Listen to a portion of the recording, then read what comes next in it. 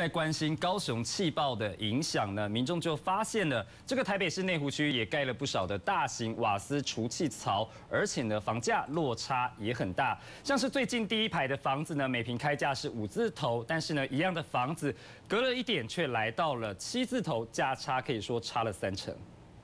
根据调查，如果住宅旁出现蒙阿波或殡仪馆。房价跌最凶，来到内湖住宅旁就是瓦斯除气槽，第一排的房价是来到五字头，但是距离比较远，第二排开价七字头。内湖高级住宅竟然存在一个超大隐形危机，三颗瓦斯除气槽就在住宅边，距离不到五十公尺。高雄气爆事件让周边民众绷紧神经，像有有的房子要卖啊，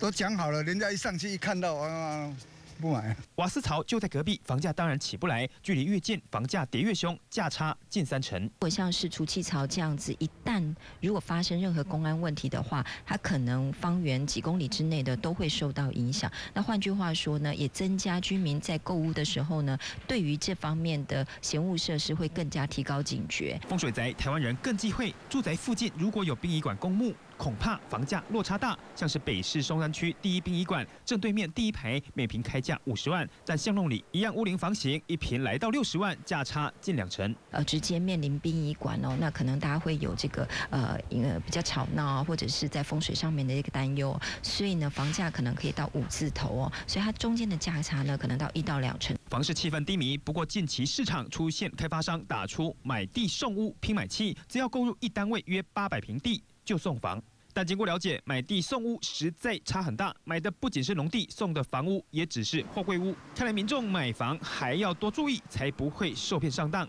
变肥羊。东台新闻综合报道。